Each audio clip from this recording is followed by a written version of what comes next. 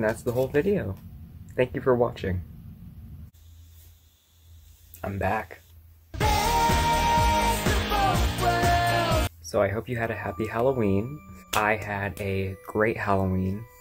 Halloween is um, a holiday that I get to devote a lot of time and attention to because um, it comes right after my birthday, and I'm usually really excited and slightly manic after my birthday. Is this another Halloween video? Are you making two Halloween vids in a row? Is this like a epilogue to Halloween? Do you have that much time on your hands? And to that I say yes. I decided that I had not said enough about Halloween in my Halloweener video. Because I only got to talk about Betty Crocker and like a myriad of other things. But I wanted to talk about more because there's a lot of things that I personally got to do that I didn't get to talk about because they weren't really relevant. It was getting toasty. So I became a panini. I did a lot of things, but I was also limited in the amount of things that I could do. As you know, um, I live in an area that gets kind of cold. Guess what? I'm from Ohio. This Halloween slash like Halloween weekend slash week, two weeks beforehand, just like the encompassing of time right before Halloween in which you can do Halloween infested things. I don't know why I said infested. Halloween themed things that are available to do because it's the season, the time in which you can do that. It's been really cold and usually rainy and windy and just really gross. It's the type of weather that I know that I'm gonna get like pneumonia if I go out for too long, but I also really want to go on a haunted hayride, so it's like I have to weigh those options a lot. Dying from pneumonia in real life, pretending that I might die on a haunted hayride. So, as I've said, I'm from Dayton, Ohio, and people from Dayton are very acclimated to what it is to be an Ohioan. Being from Ohio is like being a different breed of human. You have different breeds of dogs, and you have different breeds of people. Most breeds of dogs are bred that way because they're show dogs. For Ohioans, we're not there's a very ethnographic nature to studying people from Ohio. Observing the behavior of someone from Ohio is like watching the entire lineage of a family owned grocery store rise up from their seats at a wedding and corral to the dance floor in some type of like ritualistic procession, like ravenous, hungry farm animals as they hear the beginning dance beat to Cupid's Shuffle being from Ohio is like being the human embodiment of a Kroger Rewards card. If you've ever poured Diet Coke into a wine glass and then sat outside and thought nothing of it, you're probably from Ohio. With that being said, um, us Ohioans have our own ways of deterring the weather and doing basically anything, no matter if it's just raining and snowing in the middle of October.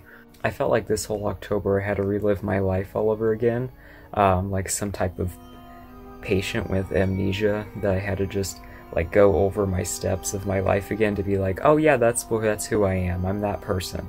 So with that being said, I revisited one of the most paramount places of my life. Well, not anymore, but it used to be owned by Paramount Studios. Kings Island. From September through October, Kings Island holds this thing called Halloween Haunt, uh, where throughout the parks after like 6 p.m. they have people come in um, dressed up like zombies and scary things, and they're supposed to scare you.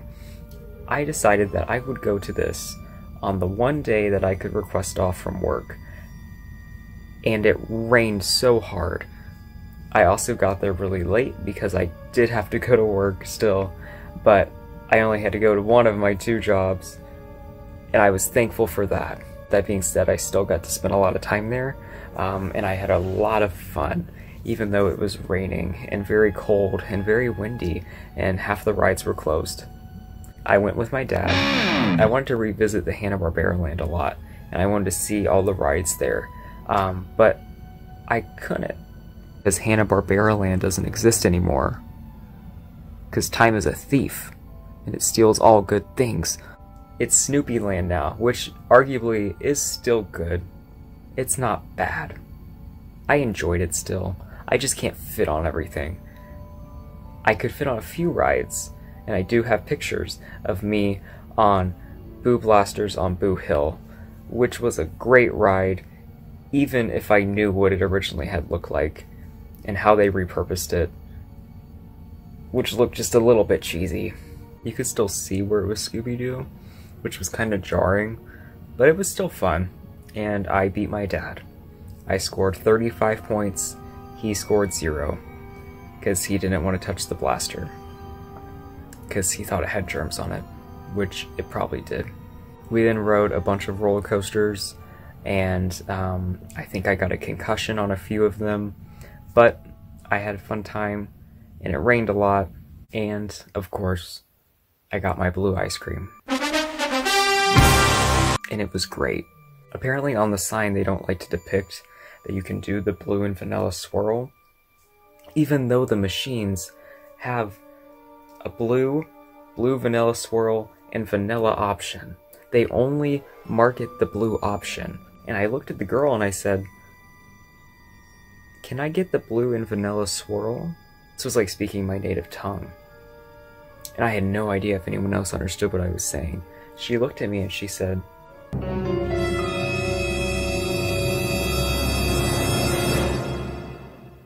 Yeah, of course. and I felt so relieved. Anyways, I got the blue and vanilla, as I always did, and it was just as good. I got it in a bowl, because I was really afraid of spilling it, because I always did that. My dad was fearless, and he got it just on the cone with no bowl. He didn't spill it. He's more dexterous than I am. So, the good thing about it raining and the weather being terrible is that there was barely anyone there. So I literally could go onto every single roller coaster, and I only had to wait for one round before I could get on. Every other time I had been at Kings Island, it was at least an hour, two hour wait. I was not going to wait that long to go on a roller coaster that didn't even last that long. There was a lot of fun, like Halloween decorations throughout the park, which is something that I really, really appreciated. When you first walk in, you're greeted by the Eiffel Tower, which has these huge red Dr. TJ Eckleburg eyes just staring down at you like, why are you spending money on capitalism? You don't need to be here. Even though the Eiffel Tower wasn't actually operational at this time because of the weather, I actually thought that was a good thing.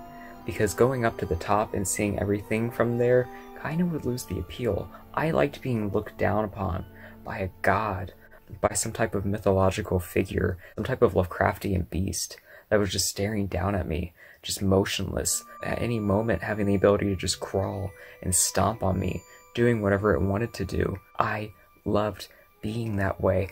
When you first enter, there's this big, like, lake area, but um, they had to flood that out. Anyways, surrounding that empty lake was a bunch of skeleton decorations, which were really cute, and I got some pictures with those too. Part of Kings Island has this like 1950s Happy Days section to it. Um, that part is interesting.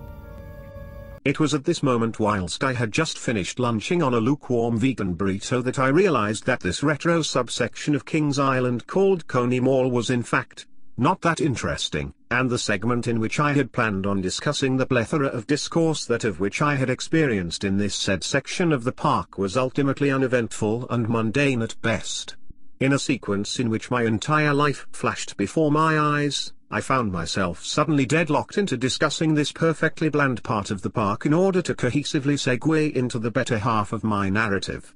If you look closely, like out of some David Attenborough nature documentary, you may be able to precisely pinpoint the millisecond in which my eyes glaze over like a Thanksgiving carrot side dish.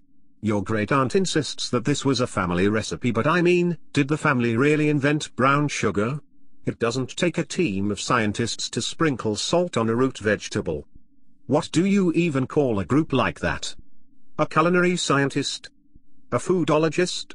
Bartenders that insist on calling themselves a mixologist like they endured several years of formalized schooling to make a gin and tonic, as though the ingredients weren't literally already in the name. Gosh, now I can't stop thinking about food scientists like injecting gravy into a piece of Wonder Bread and then recording the results on a clipboard. Anyways, while I think Coney Mall is a nice place to walk around for ambience, I knew at this point in the recording that the long length of time I had planned to invest in describing my experience in Coney Mall would bore the socks off of anyone watching, even if they weren't wearing any socks. Please put on a pair of socks so this analogy makes sense. With that being said, Coney Mall is nice and my vague descriptions do not give it enough credit. Onwards with the video. There's like a diner restaurant there, uh, and there's a few other places. They have standard like amusement rides like a scrambler um, it's nothing too special but they did have this one spot where it had five different coke machines and that was it the whole building was devoted to just these five Coke machines, but each machine had like a thousand different Coke options that you could do. You could try like every single flavor that Coke distributed at all, from all of their subsidiary brands. My dad went with a mellow yellow cherry, which I later looked up, and it was a flavor that was discontinued and then finally brought back in 2015, but you can only get it at these special machines. These machines are called Coca-Cola Freestyle machines, and damn that hype. I had never tasted this flavor before, so I was um, I was pretty into it. The one worker that worked in this building just stood there. So you you stand in this line, and there's just this gate, and there's the employee with all these cups, and he just stands there and he says, "What size do you want?"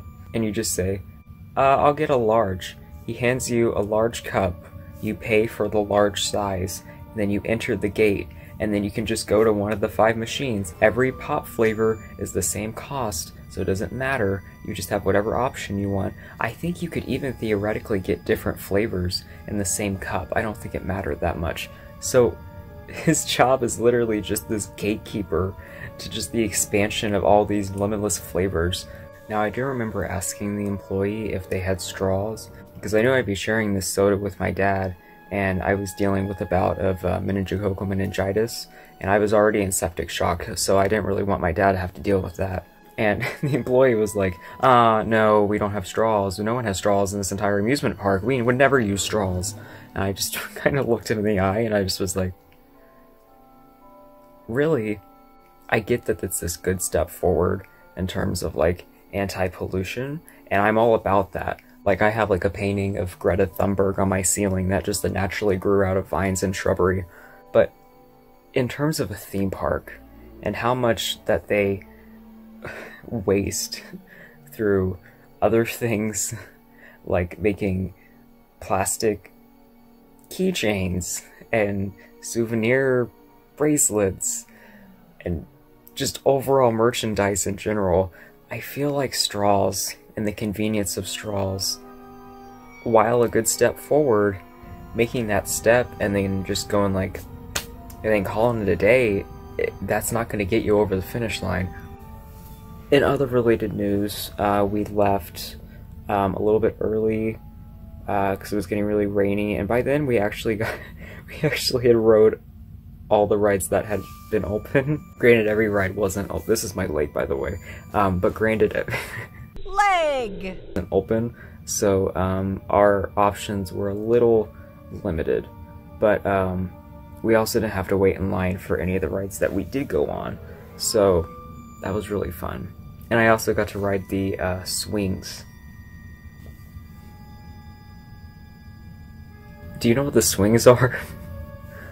So, in um, this is my other like So, in Kings Island, they have the swings which is like a, a merry-go-round, but it swings, and the swings go really high, and it, it's just a really memorable and um, fun experience. So that finished the first part of my Halloween experience, um, which was revisiting old memories at a place that I really enjoyed. of course, you know your homeboy had to do it to him. I bought this. Um, as you can see, it's just the. it's just the head. they didn't have the inflatable body. but I think this makes it even more worth it.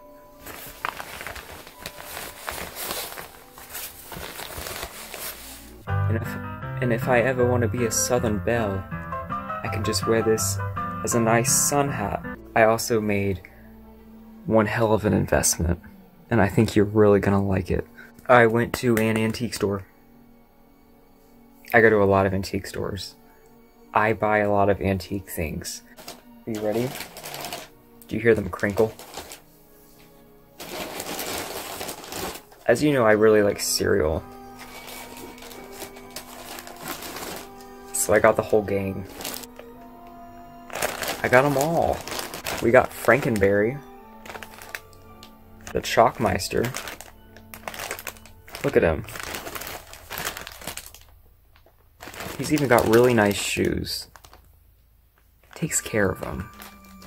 That's what a good man does. My favorite, Boo Berry. I don't know what it is about Boo Berry's demeanor, but I mean, that face. But hells yeah, I got all three. They're my gang. And I hung them by my door, next to my Garfield mural that's, that says never accept a candygram. Which I think actually is pretty appropriate for Halloween too. And to close out my Halloween celebration, I went to see a screening of the original Halloween movie. Do you like how the, my room just lit up after I said that? The angels see, and they love me. I went to see the original Halloween with my dad. I went to this movie theater back in like the early 2000s, the early aughts. Don't you hate when people just say the aughts? I don't know what that means. In the early 2000s, I went and saw um, the Jimmy Neutron movie um, at this theater. And looking back at from then to now, um, I can definitely say that it's definitely the same seats and they have not been refurbished whatsoever. I think perhaps uh, this movie theater has some type of weird Benjamin Button time lapse where it it it it's transfixed at becoming so retro and so old so quickly. It has to be some like dimensional crossing at this old movie theater that only plays like second and third showings. but at this movie theater at this time, they were playing uh, Halloween on Halloween Day. Um, so we decided to go to a later showing because uh, I did have school that day. Uh, when we went there, we got in and we thought, oh damn, we're a little bit late. We're gonna miss the beginning sequence, which is the best sequence. Is when Michael Myers stands out in the yard with a Pagliacci costume and a knife and just stares out onto the road. And his dad is like, Michael? This movie actually makes me laugh. This movie makes me laugh. And it shouldn't because it's a horror movie, but it makes me laugh. It's just really ridiculous. Because his dad can see that there's like blood on the knife, but his kid's in like a Halloween costume. like a clown costume in the 60s and he's just like, Michael? As though like he's calling his kid because he thinks that he's like in the bathroom at 4 a.m. getting water out of the sink. Michael? There's blood on the knife. Shouldn't you be more like emotionally startled by this? But no, not this dad. I don't really like the side characters in this movie that much. I do like the beginning part when they're walking home and um, Jamie Lee Curtis is like, oh, I forgot my chemistry book. And like the other girls are like, I never bring my chemistry book home. Fuck school.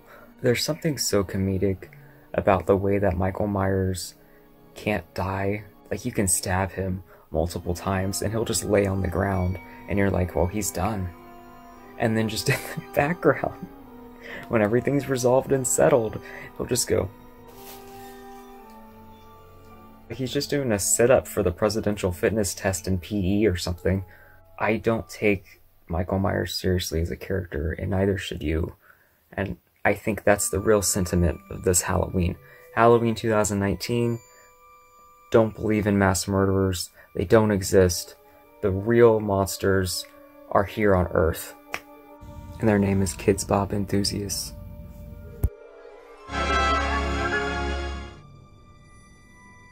I'm drinking kombucha.